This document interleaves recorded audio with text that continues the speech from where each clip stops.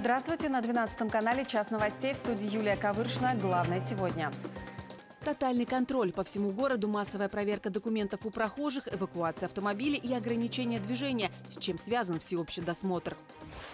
Омск центральный имени Карбышева. Премьер-министр страны подписал документ о присвоении имен выдающихся россиян вокзалам и портам. Льготный переход на цифру. А мечи смогут смотреть полсотни телеканалов за минимальную плату. Тест для молока. Для того, чтобы обнаружить антибиотики, достаточно будет одной капли в таком море молока. Как в Омске следят за качеством сырья и что грозит нарушителям. И подаренное в Новый год жилье собираются сносить. Жители Омска беспокоятся за белок. Как грызуны могут пострадать из-за новогодней ели.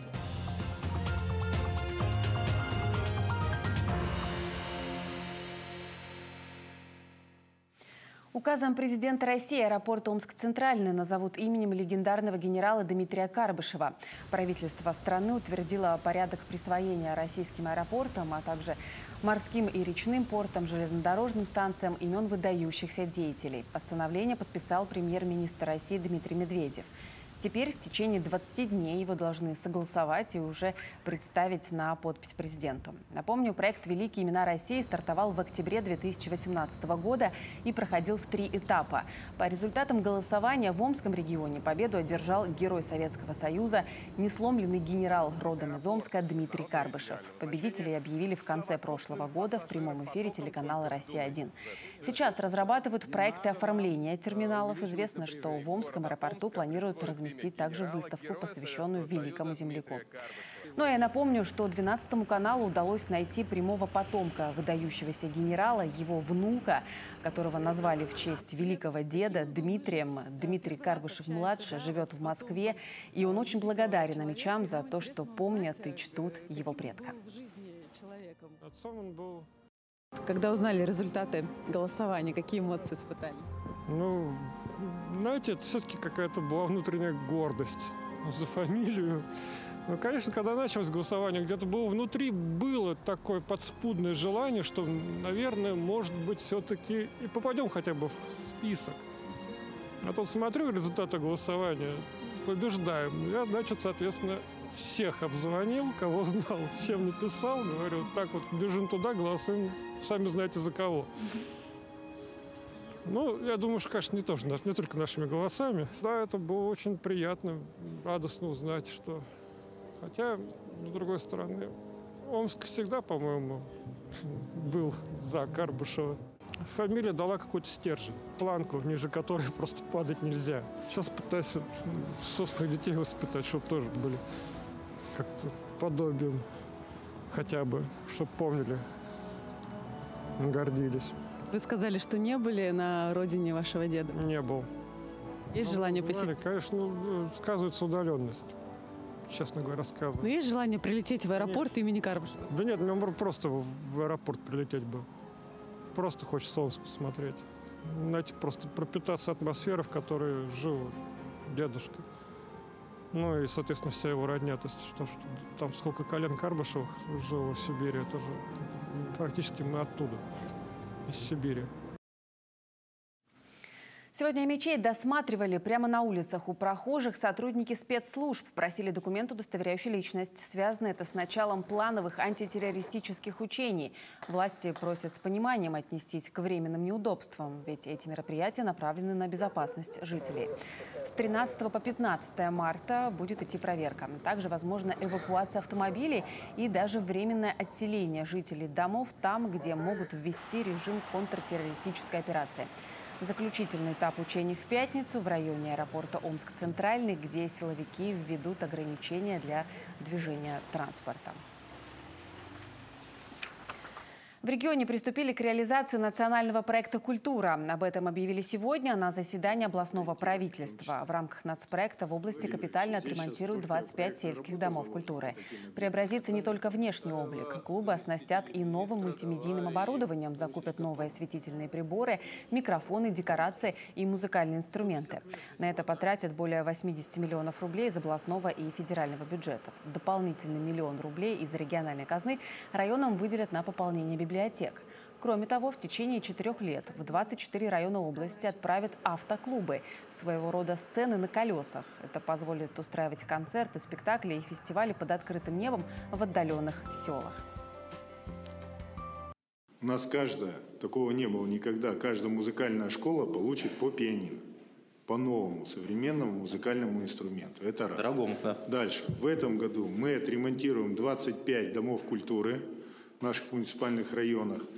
И задача Министерства культуры и Министерства строительства, чтобы эти работы были проведены качественно и в срок. Чтобы люди, живущие на селе, действительно получили как бы удовольствие от общения с культурой. У нас на селе очень много творческих коллективов. А, десятки тысяч э, ребятишек занимаются в студиях хореографии, э, вокального искусства. А, и новый оснащенный дом культуры – это то место, куда они хотят идти. А, и поверьте, когда открывается после э, модернизации такое учреждение а, очень много ребят а, желают пойти туда вновь и вновь. Сегодня на заседании говорили также о субсидиях для сельхозработников. А теперь, чтобы получить финансовую помощь из регионального бюджета, фермерам нужно выполнить несколько требований. К примеру, если предприятие обрабатывает более 300 гектаров земли, то здесь должны быть трудоустроены как минимум два человека, не считая директора. Все работники должны быть оформлены официально и получать белую зарплату не ниже установленного в регионе минимума. Кроме того, заработок должен ежегодно расти. А если в хозяйстве не достигнут тех результатов, ради которых обращались а, за субсидией, то деньги придется вернуть частично или полностью.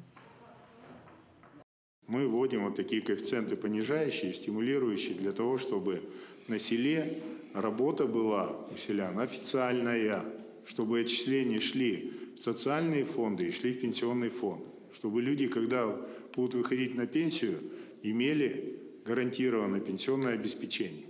А сейчас, к сожалению, во многих хозяйствах люди работают по-черному. Получают зарплату в конвертах и нет без трудоустройства, без договоров. Новое оборудование для контроля качества молока появится вскоре в распоряжении специалистов местного Россельхознадзора. Аппаратура позволит быстрее и эффективнее тестировать продукт, в первую очередь на содержание в нем антибиотиков. Лекарства, как подчеркивают специалисты, могут быть в нем только в самых минимальных концентрациях. Это не противоречит требованиям безопасности. Не превышать допустимый уровень обязаны как поставщики сырья, к примеру, фермеры, так и предприятия, выпускающие кисломолочную продукцию.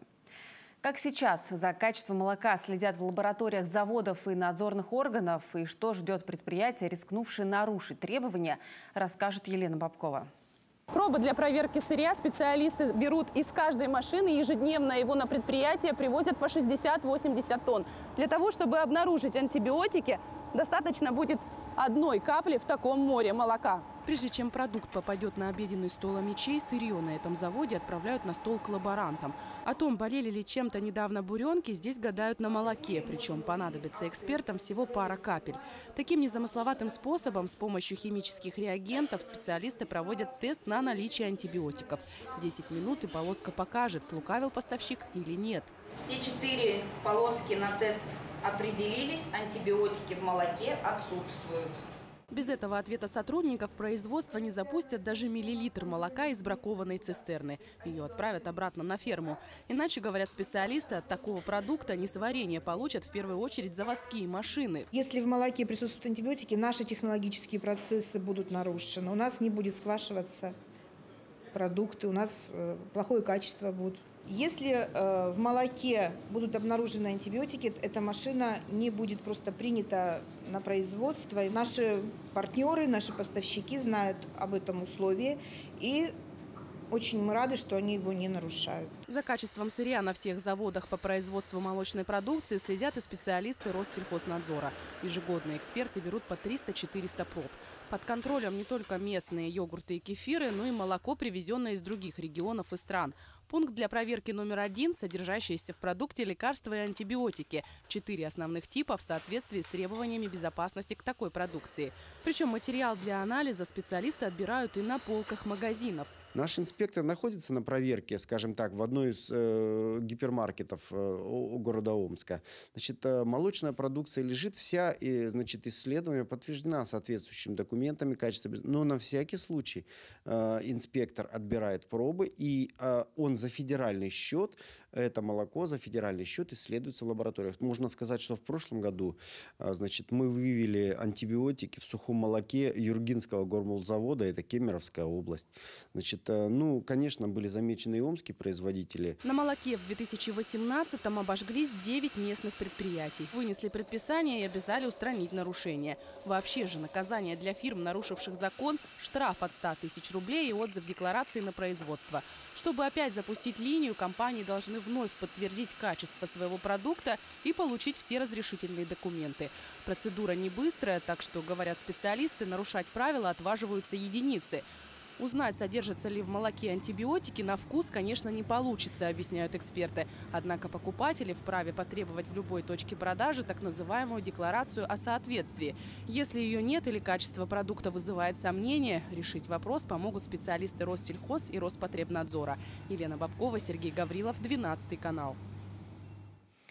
Перейти на цифру о мечи смогут на льготных условиях. Их предоставят э, малоимущим жителям региона. По поручению губернатора Александра Буркова региональная Минтруда разработала меры соцподдержки при переходе на цифровое телевещание.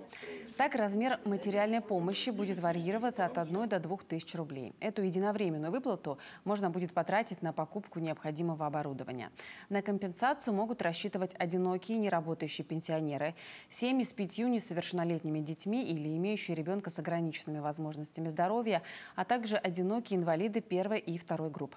Напомню, что отключение эфирного аналогового телевещания в Омской области произойдет 3 июня.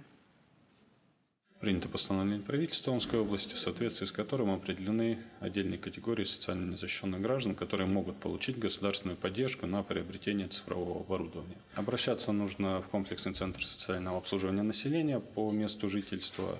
Э, норма начинает действовать с следующего понедельника. Можно уже с 18 числа обращаться с соответствующим заявлением. Подробную информацию о цифровом телевещании можно узнать по телефону федеральной горячей линии 8 800 220 2002. Звонок по России бесплатный. Увеличить компенсацию затрат аграриев на ГСМ считают необходимым участники Сибирского соглашения. Губернатор Александр Бурков провел заседание экспертного совета Межрегиональной ассоциации по сельскому хозяйству. В преддверии посевной сибирские регионы по видеосвязи обсудили планы на предстоящий сезон. Александр Бурков рассказал о ситуации с подготовкой к севу в Омской области. На сегодняшний день на примере Омской области ситуация выглядит следующим образом. В весенних работах планируется задействовать более 7,5 тысяч тракторов, почти 12 тысяч сеялок, 570 посевных комплексов. Весной дополнительно планируется приобретение техники, запасных частей и ГСМ на общую сумму 3,5 миллиарда рублей. В том числе сельхозпредприятия приобретут 110 тракторов, 90 сеялок, 26 посевных комплексов. По топливу а, планируется на весенне-полевые работы 40 приобретений 46 тысяч тонн летнего дизельного топлива и порядка 5, 5 тысяч тонн а, бензина. Александр Бурков также остановился на мерах поддержки аграриев со стороны областной власти. Цена летнего дизельного топлива уже свыше 50 тысяч рублей за тонну, что примерно на 27% выше, чем в марте 2018 -го.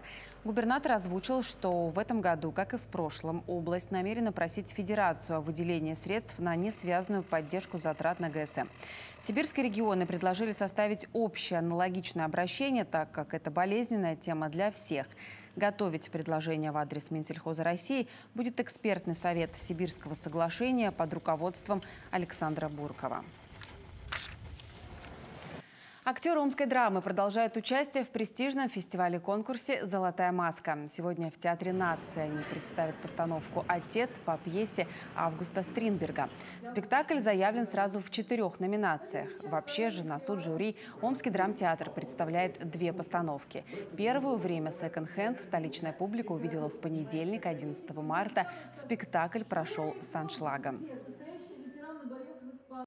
Ну а прямо сейчас мы можем узнать все подробности выступления артистов омской драмы в Москве. В студии программы «Час новостей» буквально с корабля на бал. Э, культурный обозреватель 12 канала, автор множества фильмов э, и программ Светлана Лазарева. Добрый вечер, Свет. А, добрый вечер. Да, действительно, с корабля на бал. Да, Свет, ты буквально вот сегодня да. рано утром вернулся Полетели, из Москвы. Да. Мы смотрели твои репортажи в эфире программы «Час новостей» о том, как э, амичи выступали в столице. Э, слышали множество теплых отзывов и от зрителей, и от жюри. Может быть, что-то осталось за кадром? Кадром, как Амичей встречали в Москве? Ну, Амичей встречали очень хорошо, а за кадром осталось, наверное, то, я просто как журналист могу сказать, что как мы себя там чувствовали, вот журналисты, когда вот э, все занято и нет ни одного свободного местечка, и вот так получилось, что непосредственно э, спектакль я смотрела, сидя на ступеньках знаменитого зала в Даже не нашлось театре. места в зрительном зале? Нет, а вот непосредственно репортажи я уже писала что называется, у театра. Вот там на ступеньках я сидела, потому что нужно было срочно, срочно передавать все в эфир. Вот такая вот у меня ну, что, была действительно работа. так вот в Москве хорошо знают и любят э, омскую драму? Вы знаете, э, поначалу мы все переживали. Мы все переживали, ну почему нет, почему никто не идет? Вот как-то пусто, пусто, пусто и пусто. А потом к нам подошла вот женщина, которая встречает, ну, билетерша или вот та, кто mm -hmm. продает вот эти программки, вот, кстати, я вам mm -hmm. привезла mm -hmm. показать. И она сказала, не переживайте, это стиль москвичей за пять минут до спектакля весь зал будет заполнен. И так и произошло. Она оказалась абсолютно права. Ну, а сами артисты, как они волновались? Ой, ну, конечно, они волновались. Они волновались, и э, что и опять Москва, и опять «Золотая маска», и такой наш любимый, и дорогой, и родной театр имени Вахтангова, и каждая стена там, каждая фотография, она вот дышит этой историей театральной. И, конечно, вот не ударить в грязь лицом, показать себя, выложиться на сто процентов – да, да, все очень, очень старались, и это прямо чувствовалось. Но ну, сегодня у наших артистов не менее ответственный вечер, да, в Театре нации мы даем э, второй спектакль, претендующий на «Золотую маску». Это спектакль «Отец». Там Михаил Окунев, а это имя.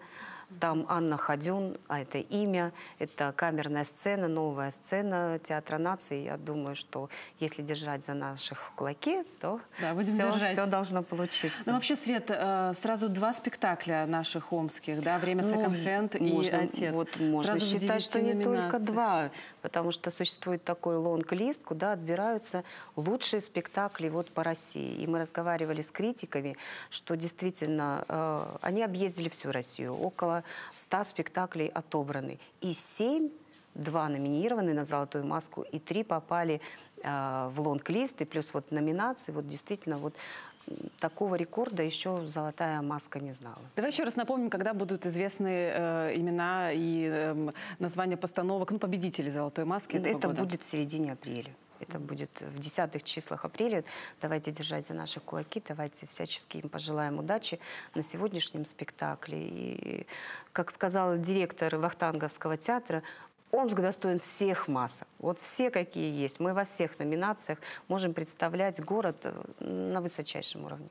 Спасибо, Свет. Я напомню, что в студии программы «Час новостей» была э, моя коллега, культурный обозреватель 12 канала Светлана Лазарева. И мы говорили об участии артистов омской драмы в самой престижной театральной награде страны «Золотой маски».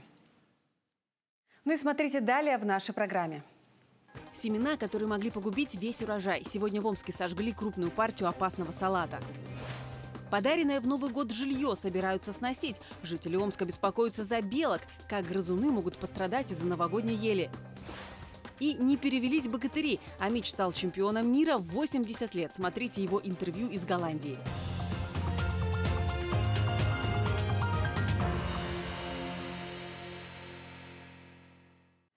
Сегодня в Омске сожгли крупную партию 300 пачек семян салата. Специалисты Россельхознадзора обнаружили опасный сорняк, известный как повелика. Сейчас, когда садоводы планируют, что высаживать на своих участках, к семенам повышенное внимание. Специалисты участили проверки.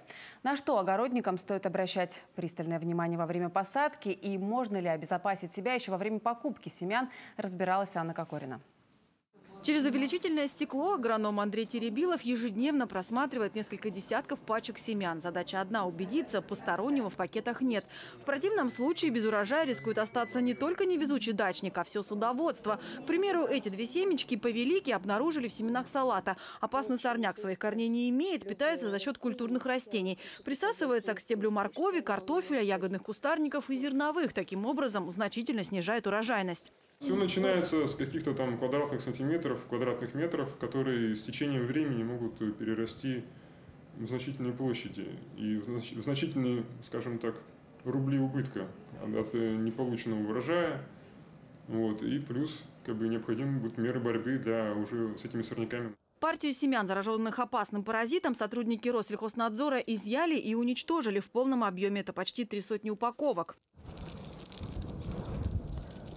Зараженные семена в наш регион, как правило, поступают из стран СНГ и Китая. Только в прошлом году эксперты забраковали 25 партий. В них обнаружили семена повелики и амброзии. Последнюю крайне трудно искоренить. Она также резко снижает урожайность. Так что во время посадки специалисты рекомендуют самостоятельно осмотреть семена.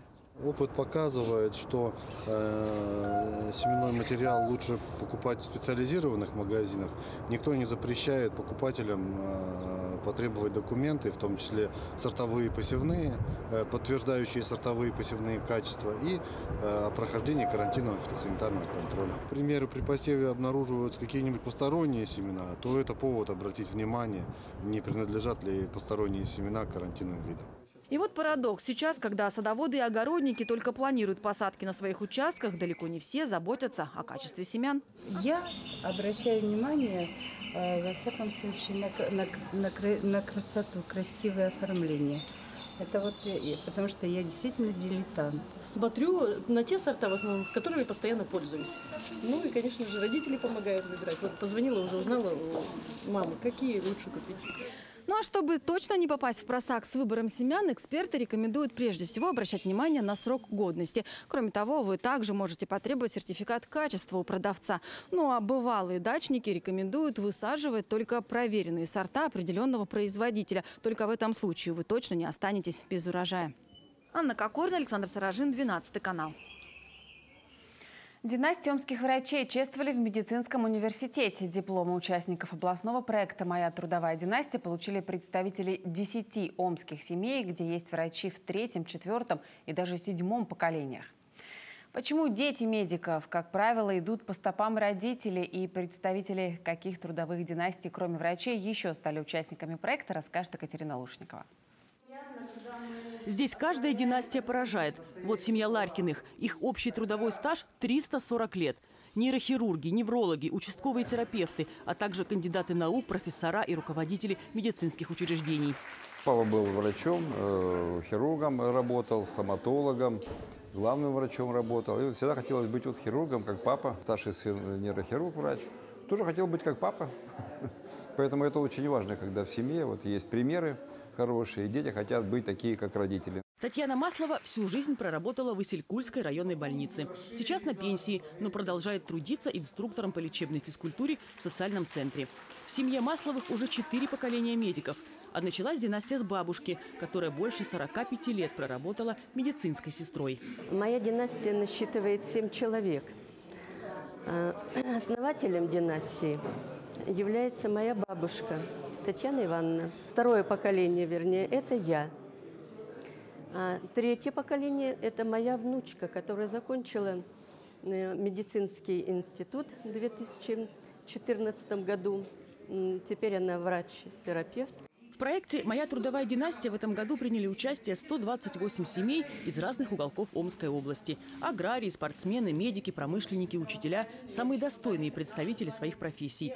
Врачебные династии чествовали в стенах медицинской академии. Наша профессия на самом деле уникальная. Получается, что вот когда мы анализируем, у нас более 60% студентов являются представителями врачебных семей. Иначе быть не должно, потому что, с одной стороны, это определенные особенности характера, умение сострадать. Это закладывается с раннего детства. Проект фонда Манякина поддержали губернатор, все профильные вузы и общественные организации. Его цель – прославлять, благодарить и ставить в пример сегодняшним студентам лучших представителей трудовых династий. У нас есть династии, которым по 600-700 лет. Это уникальные династии.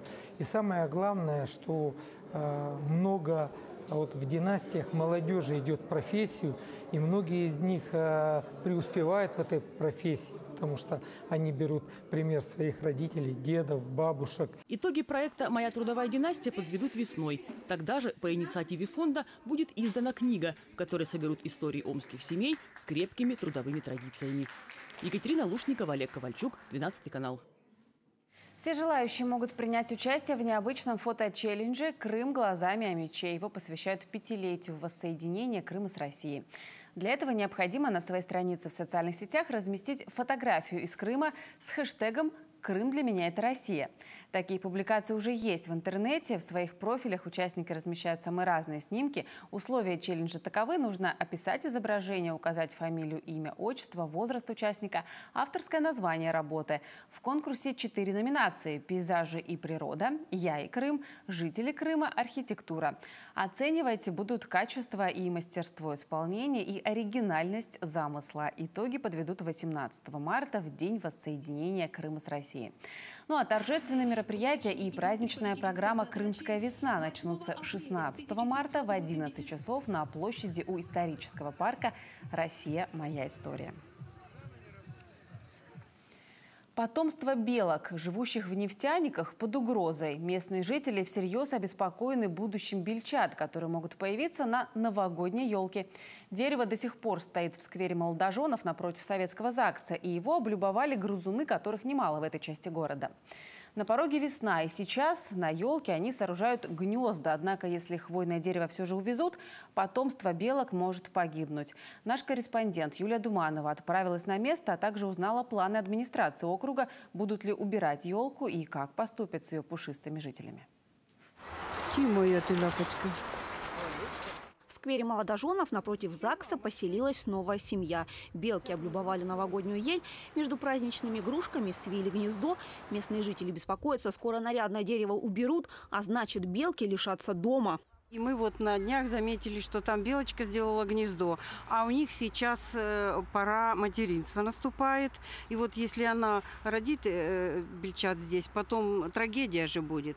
Елку уберут, и они погибнут, возможно, гнездо упадет. Рыжик, ушастик, малышка. Сейчас в сквере живут 11 белок. Каждой местной придумали имя. Беглянку в прошлом году пришлось спасать. На нее напали собаки и повредили лапку. Откармливали всем двором, носили больной измельченные орешки. Угощения в кармане и сейчас на каждой прогулке. Они ко мне на руки спускаются. А есть одна белянка, самый, э, самец, та вообще может и в карман ко мне залезть. Знают, в каком кармане, чего я ношу. В местном КТОСе говорят, елку не убирали, хотели это сделать после Масленицы. Дерево увезут уже в ближайшие дни. Елка уберется в ближайшие дни, это точно белка успеет родить бельчат на другой елочке в нашем сквере. А вообще, вы знаете, это хороший знак, хорошая примета, что белка решила здесь завести бельчат. Для сквера молодоженов это очень хороший знак. Ученые говорят, белки гнезда строят постоянно, притом сразу несколько. Поэтому, если они лишатся одного домика, вреда это им не принесет. Абсолютно ничего страшного, потому что для переживания она образует иногда до 14 гнезд. Она их меняет для того, чтобы избавиться от паразитов. Ученые говорят, сейчас детенышей в гнезде быть не может. Первое потомство у белок появится не ранее апреля. Всего же в год животные могут принести от 4 до 9 бельчат. А значит, уже скоро, выходя на прогулку, местным жителям нужно с собой будет брать больше угощений. Юлия Думанова и Денис Лопарев, 12 канал. И далее новости спорта, и о них расскажет моя коллега Ольга Колесник. Привет, Оль. Привет, Юль. Скажи, пожалуйста, как ты считаешь, в каком возрасте самое позднее можно стать чемпионом мира? Ой, ну не знаю, думаю, что, может быть, лет в 40. Ну, это твоя цифра. Вот я сегодня расскажу о человеке, который в 80 лет сумел стать чемпионом мира. Амич? Амич.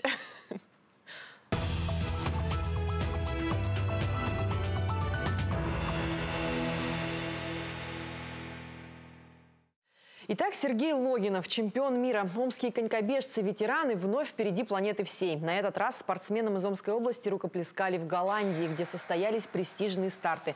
Международные весенние игры 2019. Это чемпионат мира по спринту среди ветеранов спорта. В самой опытной возрастной группе 80 лет победу одержал почетный мастер спорта Сергей Логинов. Омский конькобежец дважды был лучшим на дистанции 500 метров и по итогам многоборья выиграл золото. Сегодня нам удалось связаться с чемпионом мира. Как раз в эти дни он находится в Коломне, куда сразу прилетел из Голландии, чтобы подготовиться к очередному старту. В Омске Сергей Георгиевич будет только в начале апреля. Мы не стали откладывать возможность пообщаться с уникальным конькобежцем, и вот фрагмент его интервью.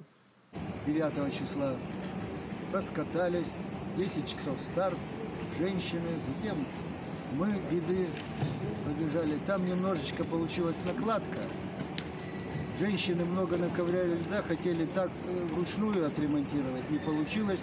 И поэтому непредвиденная подготовка льда и нас задержали, наш сад задержали на 40 с лишним минут. Угу. Немножечко продрогли. И поэтому первый день, конечно, результаты похуже, но тем не менее я в своей группе 500 уже получилось не таким подробным, как мы рассчитывали. Спортсмен спешил на тренировку. Ну а более подробно о том, в чем все-таки секрет спортивного долголетия, Сергей Логинов обещал поделиться с нами уже по приезду в Омск. Ну а в Омске зажгут хрустальную звезду. Любители спортивных танцев оттачивают все нюансы и готовятся к серьезной конкуренции на чемпионате и первенстве Омской области. Состязаться будут исключительно ансамбли. В своих выступлениях они будут использовать все существующие техники и стили. Допускаются даже некоторые акробатические элементы.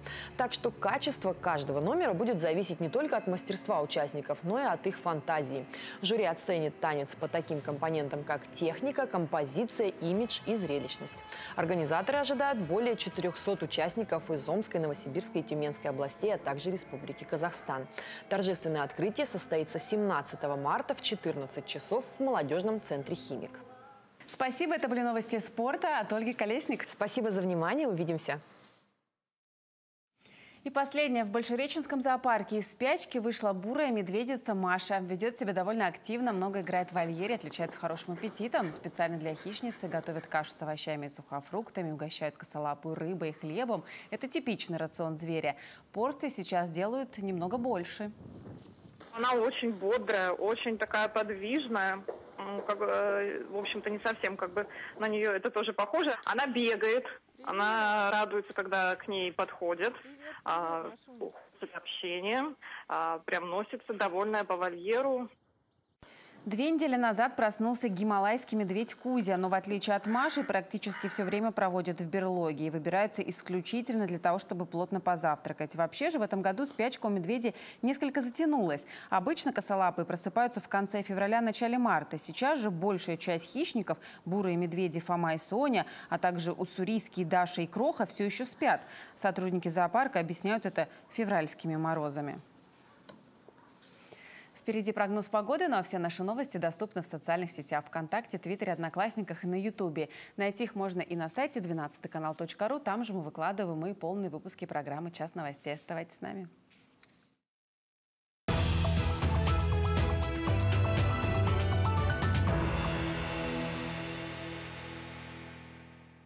Где лечиться? Есть ответ. Приходите в Ситимед. И о погоде спонсор прогноза «Усадьба Сервис», выставка продажи теплиц в Омске, площадь Укит интерьера и континента, телефон 50 50 23. Завтра, 14 марта, по области в Омске переменная облачность, преимущественно без осадков. Температура воздуха в районах в ночные часы 0, минус 4, днем 1 градус со знаком плюс.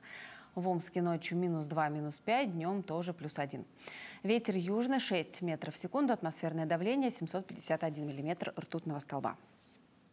Теплицы из поликарбоната. Выставка продажи теплиц в Омске. Крепкие, надежные, гарантируют. Большой ассортимент, привлекательные цены. Доставка и хранение бесплатно. В марте при покупке теплицы парник в подарок. Площадь укит интерьера и континента. Подробности по телефону 50 50 23.